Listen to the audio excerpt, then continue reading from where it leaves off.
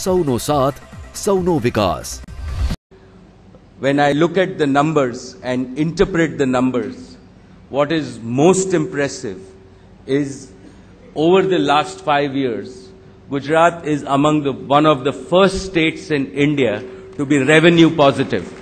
If you look at India, agriculture, where bulk of our people still derive their income from, in India is growing only at between 2 and 3.5%.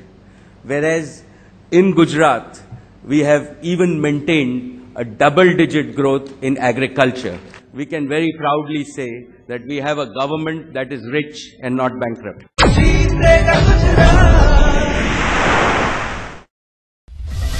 સૌનો સાથ સૌનો વિકાસ